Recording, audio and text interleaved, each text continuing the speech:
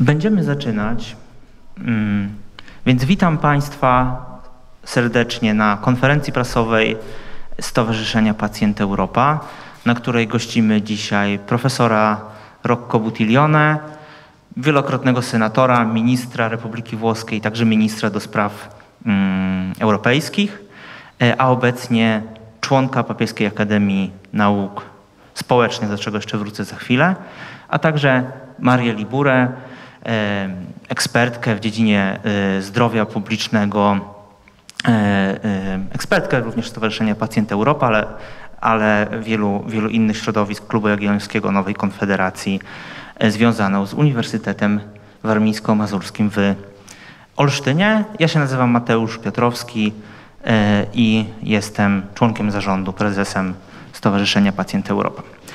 A jesteśmy tutaj dzisiaj mm, po pierwsze dlatego, że mm, niedawno wspólnie z Centrum Myśli Jana Pawła II, Stowarzyszenie Pacjent Europa i Papieska Akademia Nauk Społecznych, czyli jedna z najważniejszych naukowych instytucji y, związanych ze Stolicą Apostolską, zorganizowały spotkanie i o rekomendacjach wypracowanych podczas tego spotkania, które nazywało się Healing Patient Europe, czyli uzdrowić, wyleczyć pacjenta Europę, chcemy dzisiaj opowiedzieć, ponieważ w przeciągu kilku najbliższych dni te rekomendacje trafią z jednej strony do y, papieża, do kurii rzymskiej, a z drugiej strony, co bardzo ważne, trafią do uczestników odbywającego się za kilka dni w Rzymie szczytu G20, gromadzącego przywódców y, najważniejszych państw świata.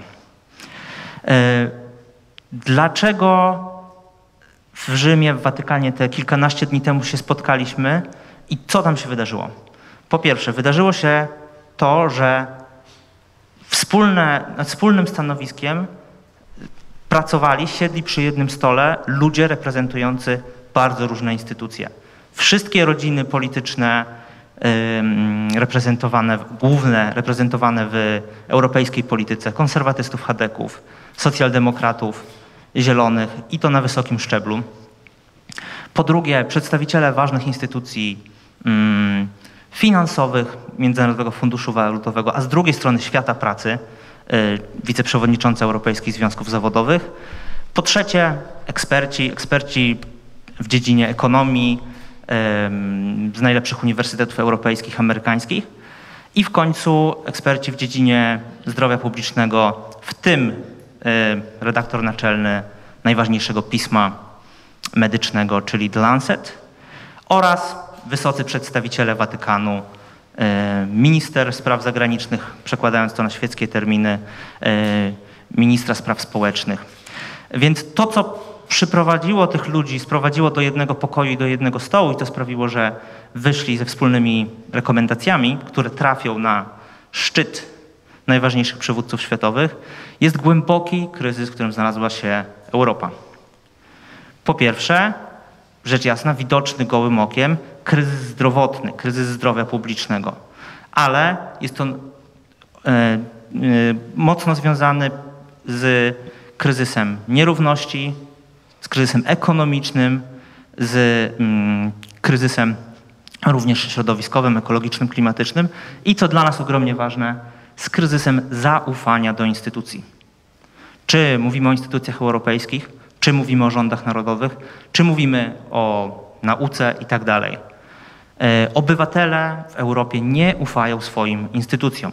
Więc ten kryzys, z którym mamy teraz do czynienia, przyczynia się do, przyspiesza procesy, które grożą końcem tego projektu politycznego, jakim jest wspólna Europa, grożą dezintegracją Unii Europejskiej. E, więc to, to był punkt wyjścia naszego spotkania i dlatego mm, liderzy mm, tak ważnych instytucji, ruchów społecznych, e, liderzy w dziedzinie ekonomii, polityki, wiary postanowili wyjść z rekomendacjami. Bo rozpoznanie kryzysu to jest tylko pierwszy punkt. I powiem bardzo krótko w czterech najważniejszych punktach, co my rekomendujemy jako Stowarzyszenie Pacjent Europa, co było też dyskutowane podczas tego spotkania. E, po pierwsze, Unii Europejskiej nie stać na kolejną porażkę w y, starciu z wirusem. Unia Europejska, Europa może i musi wygrać z tym wirusem, jeśli chce przetrwać jako y, projekt polityczny. Po drugie, Europa nie wygra z wirusem, jeśli nie odbuduje minimum zaufania wśród swoich obywateli, e, bo jeśli nie odbuduje zaufania, to e, po prostu nie będzie mogła wdrożyć tych istniejących narzędzi, które są dostępne, żeby sobie z wirusem poradzić. E, no i tego zaufania nie da się odbudować bez minimalnej znowuż solidarności, ale realnej, realnie pomagającej ludziom znajdującym się w kryzysie, obywatelom znajdującym się w kryzysie. Po trzecie, to wsparcie o czym powiemy zaraz dokładniej, musi mieć mocne, realne podstawy finansowe. Nie może się opierać tylko i wyłącznie na długu. E, I po czwarte, politycy, europejscy politycy, polscy politycy, jako że dzisiaj jesteśmy, byliśmy w Rzymie, ale dzisiaj jesteśmy w Warszawie, jesteśmy w Polsce, mówimy w polskim kontekście również, muszą wziąć odpowiedzialność, nie mogą zostawiać ludzi samym sobie. I teraz bardzo krótko wyjaśnię, o co nam chodzi, z jakimi rekomendacjami to się wiąże. E, Powiedziałam, że Europy nie stać na kolejną przegraną z e, wirusem. Nie stać jej z powodów również geopolitycznych. To dobrze pokazują również teksty publikowane w The Lancet, badania. Te kraje, które postawiły życie i zdrowie obywateli w centrum swoich polityk, nie tylko osiągnęły to, że mniej ich obywateli umarło, ale te kraje są po prostu bardziej konkurencyjne, jeśli chodzi nawet o takie wskaźniki jak PKB, i te kraje cieszą się większymi wolnościami obywatelskimi, e, jeśli chodzi o, o, właśnie o prawa obywatelskie. One są mniej ograniczane niż w tych krajach, które nie zdecydowały się na realną walkę, walkę z wirusem. W związku z tym rekomendujemy przyjęcie strategii eliminacji wirusa. E, po drugie, tak jak wspominałem, nawet najlepsze narzędzia nie zadziałają, jeśli będziemy w stanie pustki społecznej, próżni społecznej, jeśli nie będzie tego minimum kapitału zaufania. E, a jeśli elity społeczne, gospodarcze chcą odzyskać to zaufanie, to muszą pokazać, że są realnie solidarne ze swoimi obywatelami. I zapewniają im namacalne wsparcie, dlatego rekomendujemy dodatkowy dochód tymczasowy na czas kryzysów, zwłaszcza jeśli byłyby konieczne lockdowny, co wydaje się coraz bardziej, coraz bardziej konieczne. W związku z tym, że po prostu nie można opierać się tylko i wyłącznie, jak widzimy w tej chwili, na jednym, nawet skutecznym rozwiązaniu.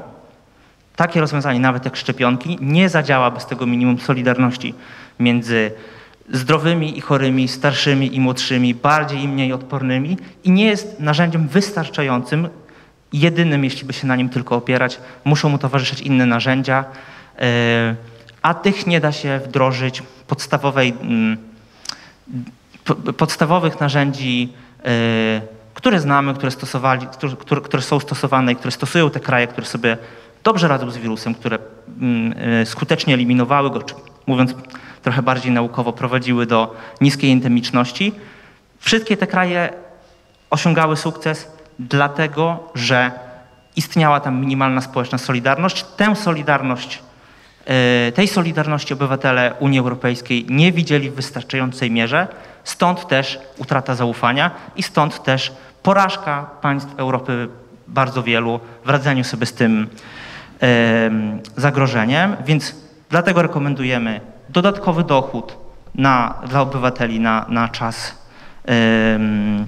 na czas lockdownów zwłaszcza, a po drugie europejską politykę społeczną, czyli to, żeby Europejczycy mieli dostęp w całej Europie, nie tylko w najbogatszych krajach, do dostępnej, dobrej, publicznej opieki zdrowotnej. Żeby mieli dostęp do dobrych miejsc pracy, godnych miejsc pracy. I po trzecie, to wsparcie musi mieć solidne podstawy finansowe. Ono nie może się opierać tylko na długu, który uzależnia też Europę od e, spekulantów finansowych. W związku z tym postulujemy europejską politykę fiskalną, po to również, aby ten dług nie obciążył pracowników, żeby nie obciążył małych i średnich firm, tylko żeby sfinansować to z podatków, które m, powinny płacić już w tej chwili e, z jednej strony cyfrowi giganci, którzy chcą wejść na rynek europejski, którzy ich nie płacą, z drugiej strony mówimy o podatku od o podatku od transakcji finansowych, o podatku także zabezpieczającym konkurencyjność europejskich firm, jeśli chodzi o konkurencję z takimi um, obszarami świata, które nie stosują się do norm środowiskowych. Więc to wsparcie, te środki, po pierwsze, nie mogą trafiać tylko, nie mogą wzmacniać tylko rządów i wielkiego biznesu, muszą trafiać do obywateli, do mniejszych firm, do pracowników, a po drugie, musi być y, stabilna postawa fiskalna, a więc również europejska polityka fiskalna. Y, I po czwarte, politycy muszą wziąć odpowiedzialność. Nie mogą udawać, że nic się nie dzieje, nie mogą y, mówić, że problemy jakoś same się rozwiążą i nie mogą zostawiać ludzi samym sobie.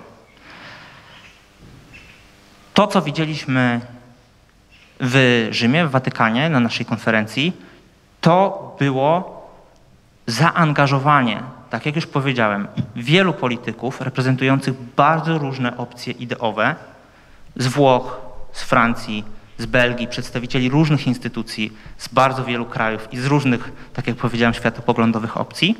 Natomiast, to muszę powiedzieć z przykrością, nie widzimy niestety takiego zaangażowania ze strony polskich polityków. I tu chcę powiedzieć coś bardzo jasno. My jesteśmy jako Stowarzyszenie Pacjent Europa ponadpartyjną i ponadpolityczną inicjatywą.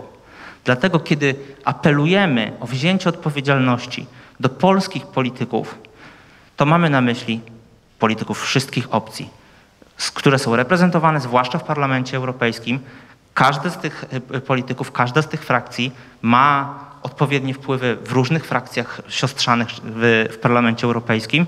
Polska jest w trudnej sytuacji, jeśli chodzi o rosnącą liczbę zakażeń, jeśli chodzi o trudną sytuację ekonomiczną wielu osób, jeśli chodzi o problem z dostępem do e, opieki zdrowotnej, więc to, to, to chcemy, żeby wybrzmiało bardzo mocno. Dlatego nasze rekomendacje trafią do światowych przywódców zebranych za chwilę w Rzymie czasie szczytu G20, ale dlatego również apelujemy do polityków polskich, wszystkich opcji, żeby wzięli odpowiedzialność za to, co dzieje się z Polską i z Europą, e, bo po prostu e, jest to konieczne, jeśli e, instytucje europejskie, jeśli Europa rozumiana jako pewna wspólna przestrzeń bezpieczeństwa ma przetrwać. Tutaj zakończę, oddam głos Rocco i Marii, jeśli chcieliby coś dodać.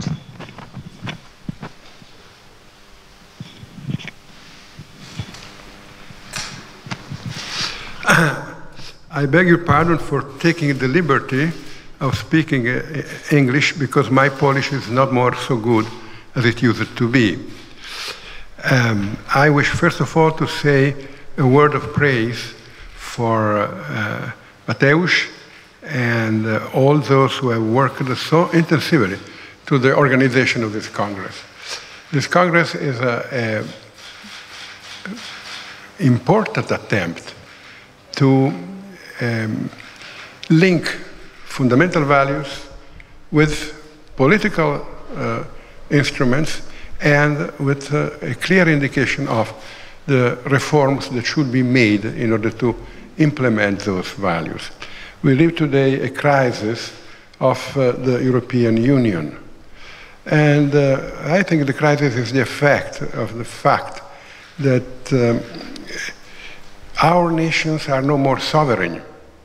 Whatever we say, we are too small to be sovereign uh, in a world in which enormous continental aggregation of powers arise, like China, like India, like Indonesia, like uh, uh, tomorrow perhaps Brazil, we are too small.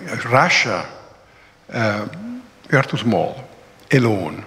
If we want to st stay in control of our future, if we want to have a say in the decisions that will shape the world of today, we must learn to make use of our, of our sovereignty together. But uh, at the national level, we are no more sovereign because they are too small. And at the European level, we are not sovereign because the Union uh, is too weak. Uh, and the project of the European Union has not been brought to completion. And we see the title was Healing Patient Europe. Why is Europe ill? what is the illness of Europe? There are two illnesses of Europe. One is that, as Henry Kissinger said once, it is an economic giant and a political dwarf. And of course, you cannot defend the rights of your citizens if you are a political dwarf. Sooner or later, you must suffer the prepotence of those who have a real political union. Uh, the Americans will not be able in the future to guarantee the Pacific and the Atlantic. Uh, and they have already made their decision. They want the Pacific. Uh, are we able to create a common defense in the Atlantic?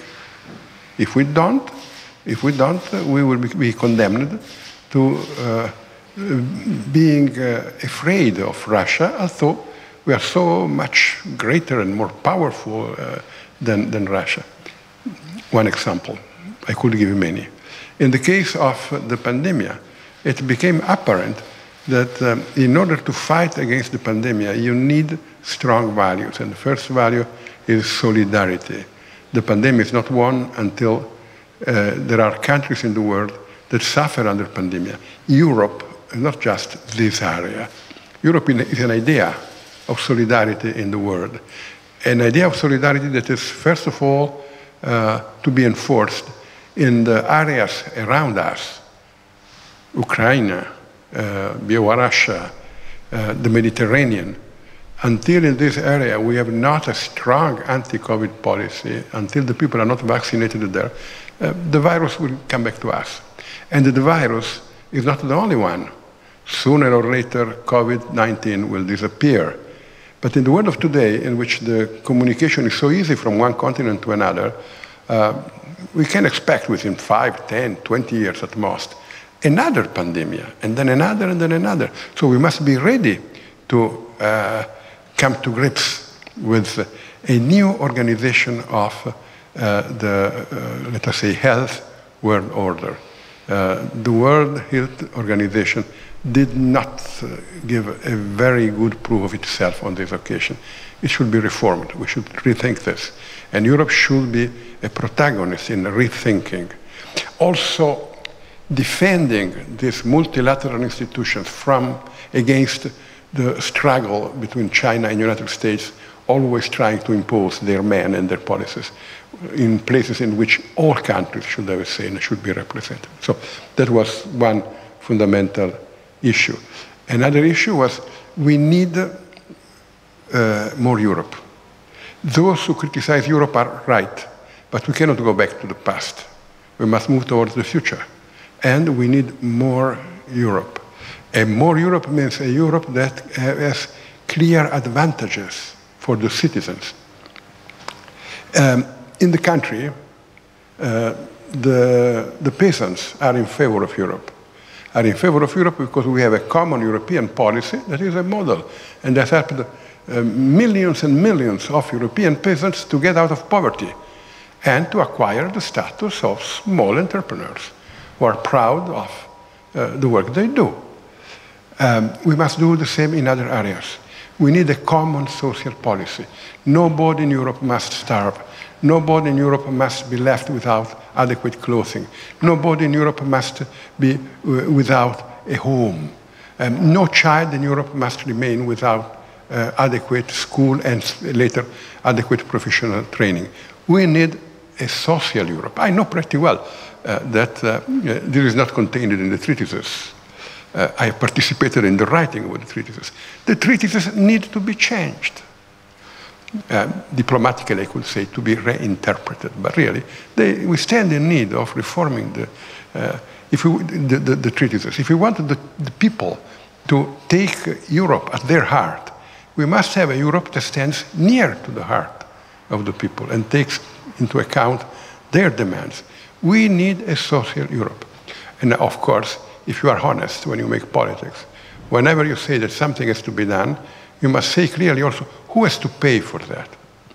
And we need uh, uh, to call to exercise their social responsibilities um, the great companies that uh, now control our economies, control our politics, because they control the internet. All goes through internet, And those who control internet control the economy and control the politics because they control the exchange of information. And they don't pay taxes. Uh, it has been calculated that uh, uh, Google pays, uh, or rather, the owner of Google pays 2% of taxes each year. 2%. I pay, I don't remember, but must be something like uh, 40 or 45%. Uh, and you, I'm sure, pay more than 2%. I don't know exactly how much. Is it possible? Is it, we must have a, a common fiscal policy that calls to fiscal responsibilities. Those big companies, they say, but uh, the value produced in the net uh, does not belong to any particular state. Yes, they're right. Not to any particular state, but to Europe in, altogether, yes. And we need a, a, a fiscal reform of the European finances. And this holds true for not only for the great companies that are on on internet, but for uh, all the, those who uh, threaten the governments of the, of the states, telling them, uh, if you pretend us to pay taxes, we will move to another country. We need a minimal taxation for all countries in Europe to begin with, but ideally in the world. These are not utopias. Um, these uh, issues are being discussed now in the G20. Um, President Mario Draghi was not present to our meeting, but he's a member of the People Academy of Social Sciences, and he will bring this proposal to the, uh, the, the G20. I do not expect all of them to be accepted, but some, yes. I think that mm, it may be created a consensus on some of them. And one of them, on which a consensus is being created right now, is to call the big companies to fiscal responsibilities. Um, something will be done. I hope it, something serious.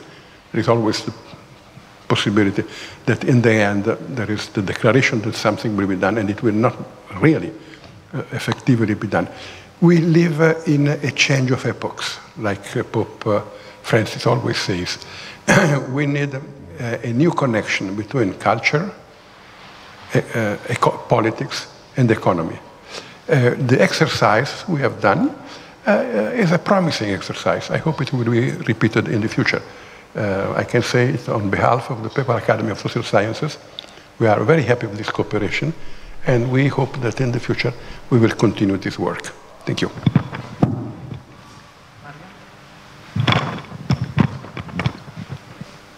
To bardzo krótko, że na zakończenie, nawiązując do właśnie do przedmówców, powiem tak. Im dłużej trwa pandemia, tym bardziej widać rzecz znaną. To, że epidemie i pandemie oprócz wymiaru takiego biologicznego czy medycznego mają zawsze wymiar społeczny.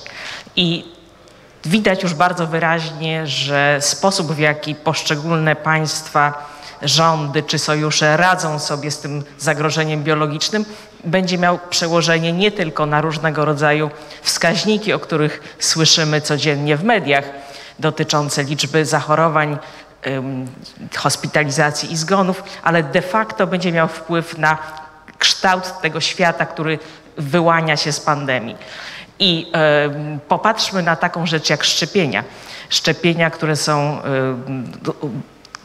o wiele bardziej skuteczne niż przewidywano, kiedy, je, kiedy, kiedy za, za, e, prowadzono pierwsze próby kliniczne, okazują się narzędziem niewykorzystanym w wielu krajach z tego względu, że mamy do czynienia z niskim zaufaniem społecznym e, zarówno do instytucji publicznych, jak i do samej nauki. Czyli mamy do czynienia z o, ogromnym kryzysem zaufania. Nawet te kraje, w których szczepienia są dostępne, różnią się pomiędzy sobą y, w stopniu wykorzystania tego narzędzia.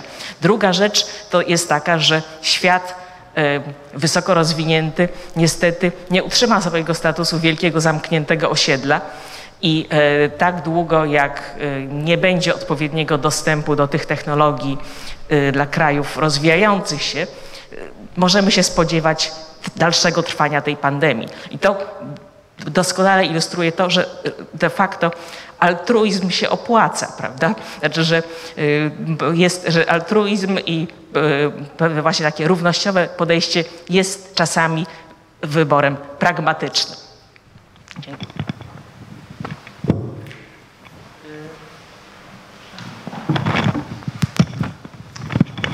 Więc prosimy o pytania, jeśli mają Państwo.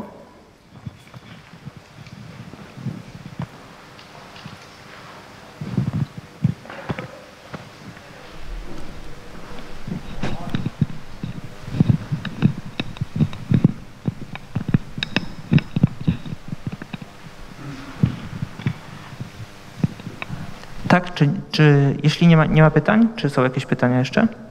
Proszę też zadawać po polsku, Rokko rozumie polskie, a jakby co, ja mogę również przetłumaczyć. Ok. Jeśli nie ma pytań,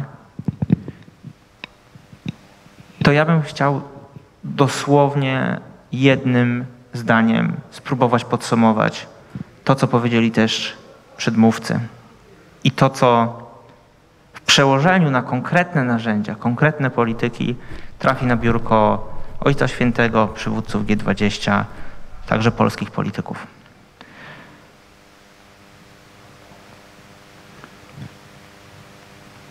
Mm, Rocco Buttiglione powiedział niedawno, będąc tutaj w Polsce, kraju Solidarności,